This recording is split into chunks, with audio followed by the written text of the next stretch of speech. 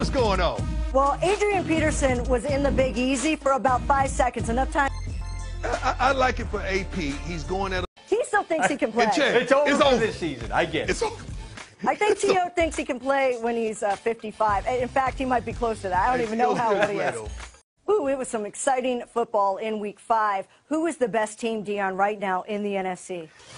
In the NFC. 18th defense overall, 10th in surrendering yards. I like them, baby. I like the How's Atlanta.